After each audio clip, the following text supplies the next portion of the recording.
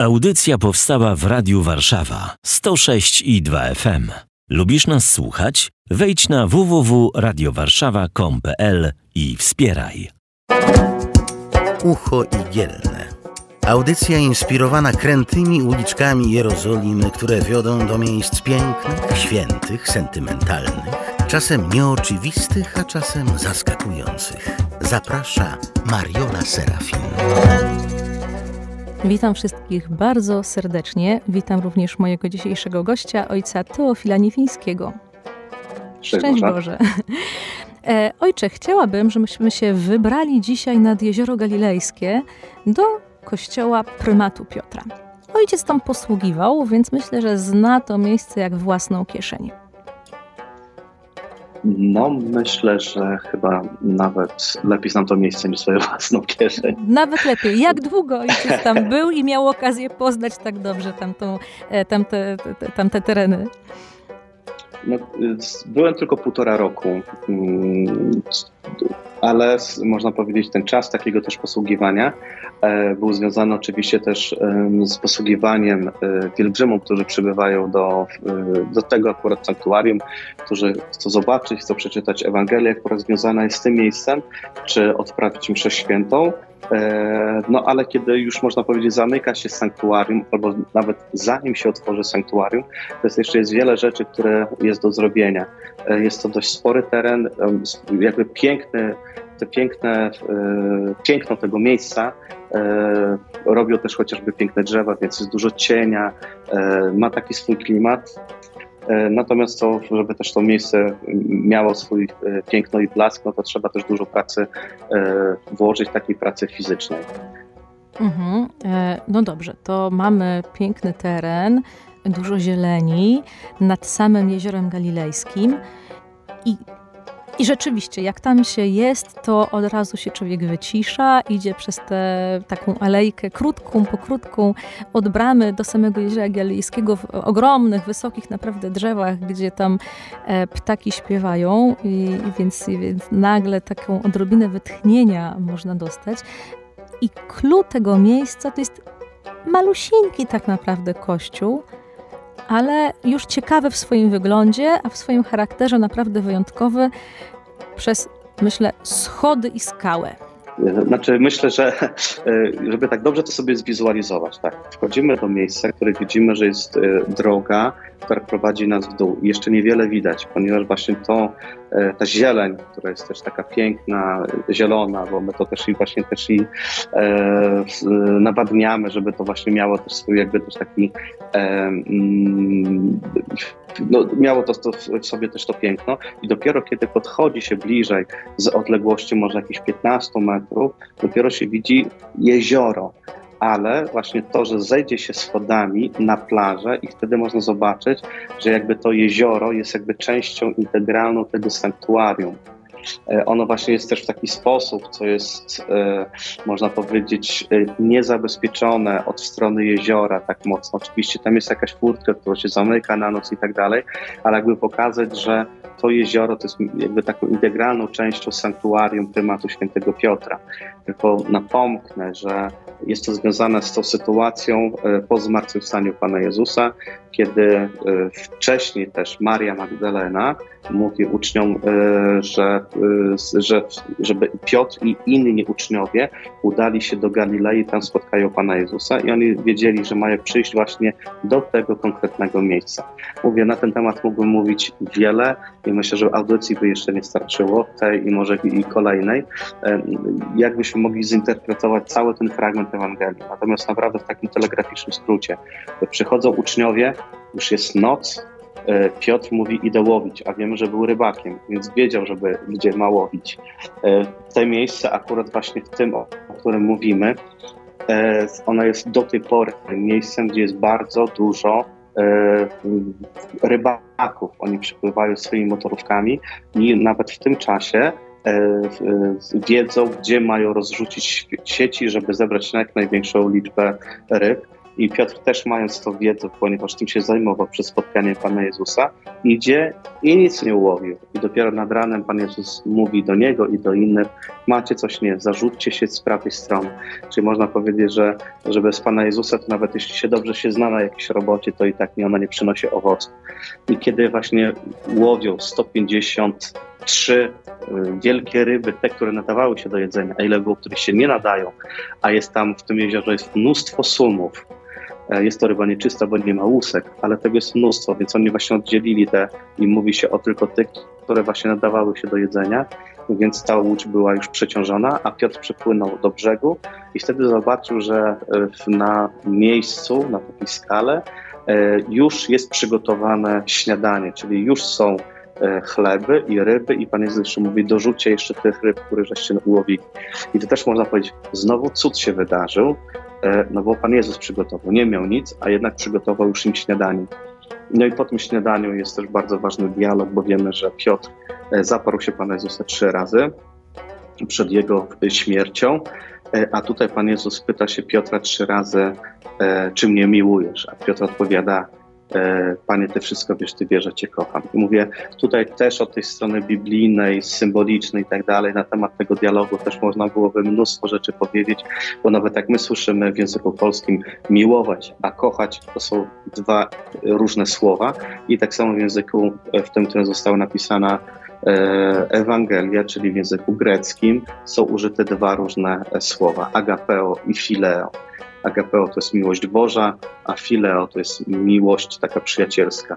Tak właśnie na marginesie y, Teofil, czyli Teofilos, znaczy przyjaciel Boga. Więc tutaj Pan, y, Pan Jezus mówi o miłości, a Piotr mówi o przyjaźni. Mhm. I to miejsce, gdzie Pan Jezus rozpalił ognisko, e, gdzie te ryby tam się smażyły czy piekły na kamieniach, ono właśnie wciąż istnieje i część tego miejsca jest wewnątrz kościoła, a część, która została troszeczkę ociosana w formie schodów, tak jakby apostołowie, żeby mieli łatwiej wchodzić na tę skałę, jest po tej zewnętrznej stronie, jak to ojciec ładnie ujął. Dzięki temu jezioro jest zintegrowane z kościołem. No to musimy też tutaj e, jakby wrócić na moment do pierwszych wieków chrześcijaństwa. Wracajmy. E, tak, w tym czasie oczywiście jest zrobiony parking przed sanktuarium. Wszyscy schodzą od strony drogi, od strony Góry Błogosławieństw.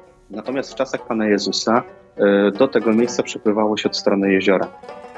I e, tam już Egeria w IV wieku napisała w swoich wspomnieniach, w swoim pamiętniku z pielgrzymowania, kiedy przybyła do tego miejscu, to już mówi, że były tam schody i w tym miejscu była sprawowana liturgia. Nie wiemy, y, jaką liturgię miała na, na, na, myśli, ale też nie wspomina o kościele, żeby w tym miejscu był kościół.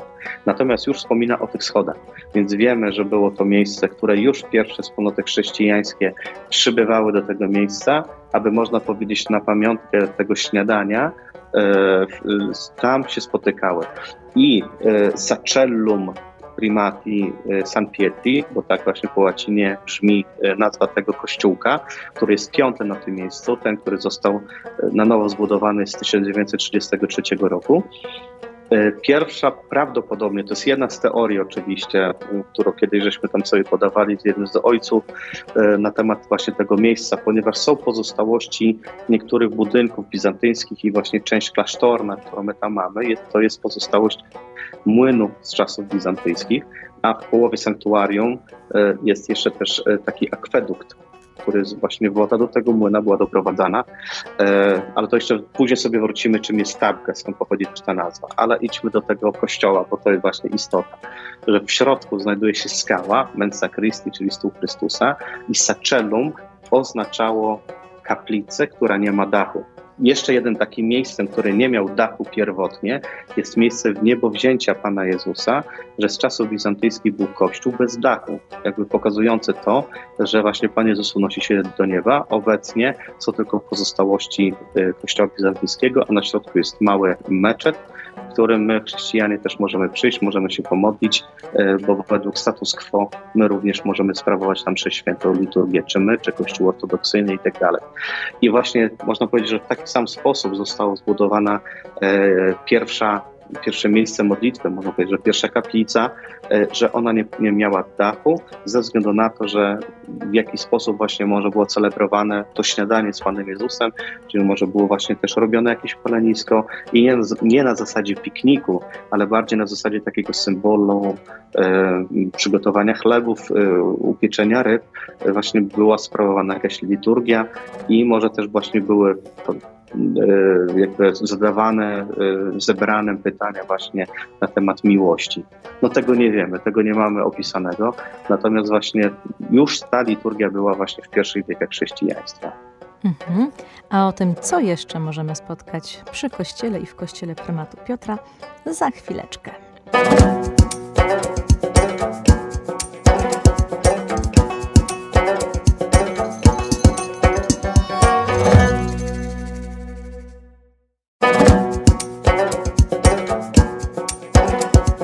Ucho igielne.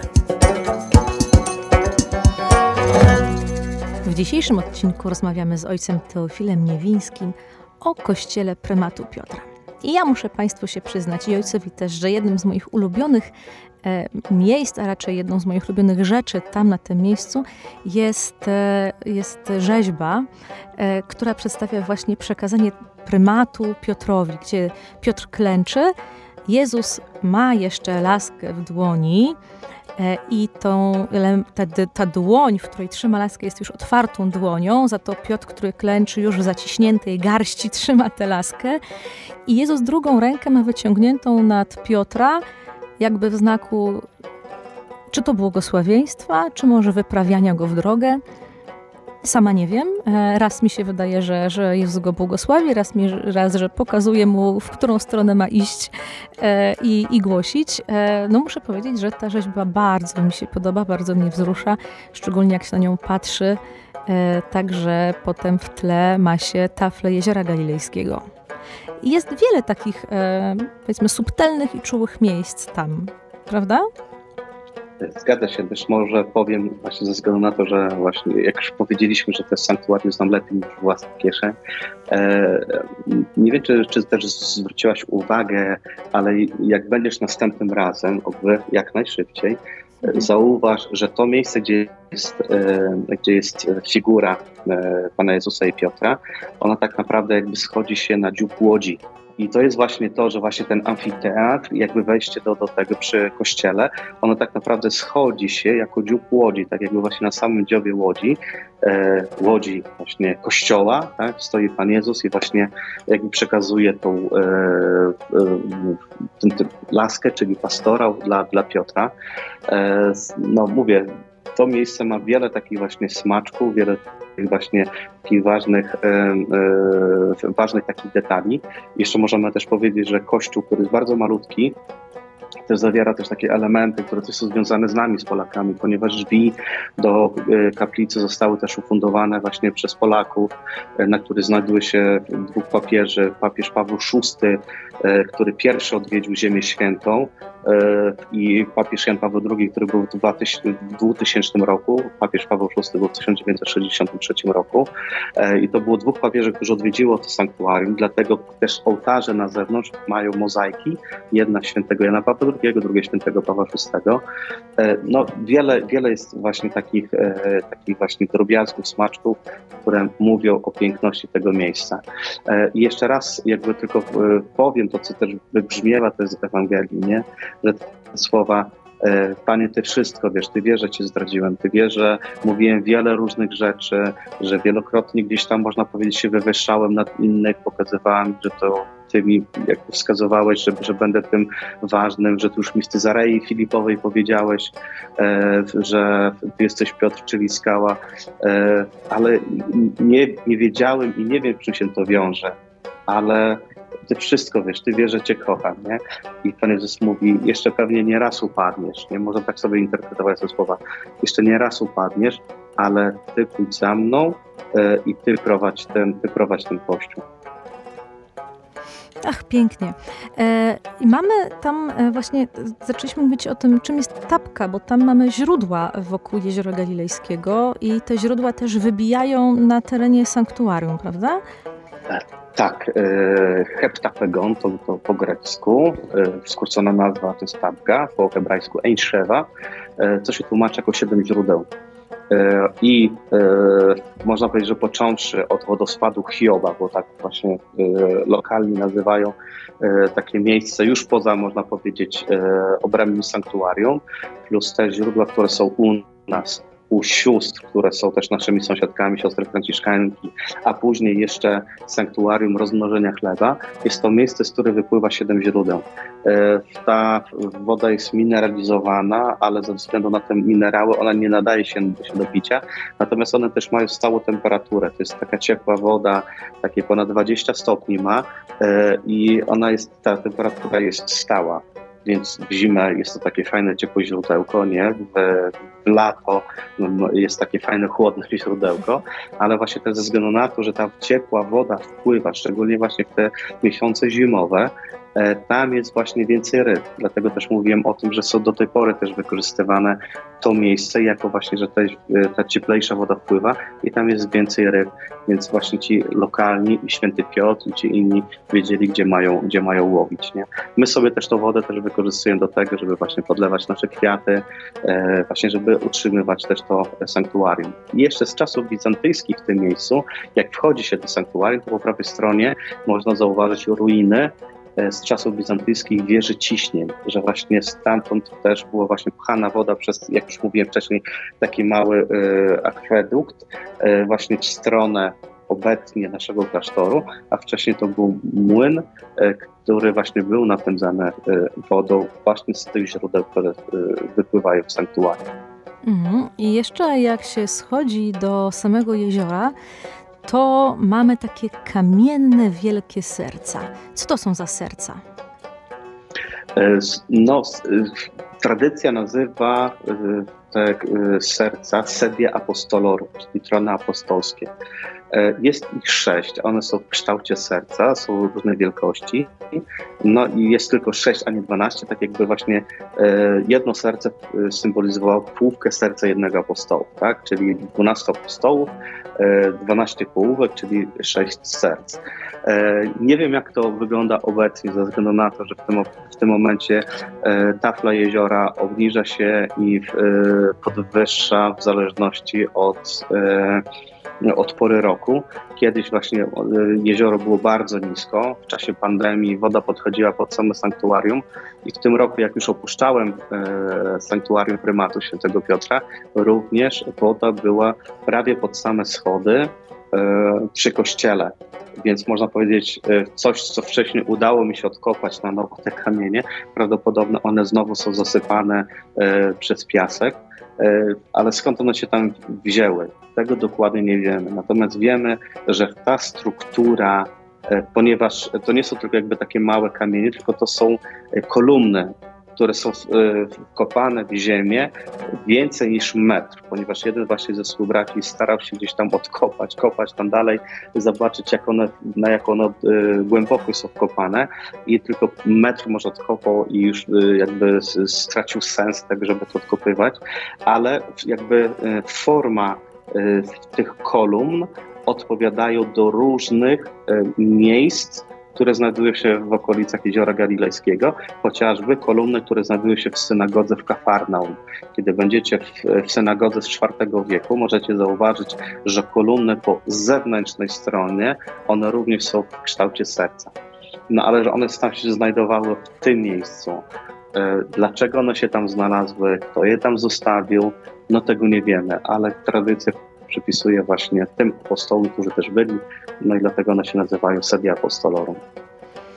Czyli mamy zagadkę niemal kryminalną dotyczącą tego, skąd wielkie kolumny z sercami ponad metr głęboko udało się wkopać. Eee, nie wiadomo skąd się wzięły, nie wiadomo dlaczego, więc trzeba było im dorobić piękną teologię, ale jeszcze, jeszcze dużo do odkrywania. No tak, no, można gdzieś tam y, jakby pokusić się o to, że może to była jakaś integralna część razem ze schodami. E, że może to było jakieś na zasadzie jakiegoś pomostu, gdzie były, nie wiem, przywiązywane łódki. No, no tego nie wiemy, to jest tylko jedna wielka spekulacja. Natomiast ze względu na to, że jest to miejsce związane, że jeśli jesteśmy czegoś pewni, że Pan Jezus e, był tam, to na pewno jesteśmy pewni tego, że był e, przy Mensa Christi gdzieś był, bo przygotowywał właśnie to śniadanie i wiemy, że był nad tym brzegiem jeziora. Nie wiemy dokładnie, że zostawił swoje ślady, ale wiemy, że był. Jeśli nawet przychodzimy do tego sanktuarium, to są właśnie dwa miejsca, o których jesteśmy pewni, że Pan Jezus był, nie? Przy skale Mensa Christi i patrzył z tego samego miejsca, z którego my możemy patrzeć, właśnie na jezioro. Jeszcze tylko taki żarcik powiem, że czasami ludzie się mnie pytają, gdzie jest to miejsce, gdzie Pan Jezus chodził po wodzie. No to w tym momencie oczywiście z przymrużeniem oka mówię, że jeśli e, weźmiemy drona i puścimy go, to możemy zobaczyć, że tam właśnie w okolicy gdzieś tak 40 metrów E, można zauważyć, że na wodzie jest takie duże X, to jest właśnie to miejsce, gdzie Pan Jezus chodził po wodzie. Bo oczywiście nie jesteśmy w stanie tego powiedzieć, nie? gdzie była burza na jeziorze, w którym miejscu była łódka. To są właśnie rzeczy, których nie jesteśmy w stanie stwierdzić, ale wiemy, że to jest to samo jezioro, na które patrzył Pan Jezus razem z uczniami 2000 lat temu. Ojcze, bardzo serdecznie dziękuję za niezwykle interesującą rozmowę i do usłyszenia następnym razem. Szczęść Boże!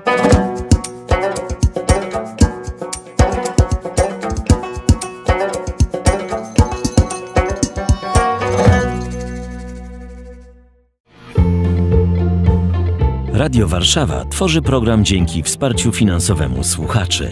Jeśli podobała Ci się ta audycja, wejdź na www.wspierajradiowarszawa.com.pl i dołącz do grona darczyńców.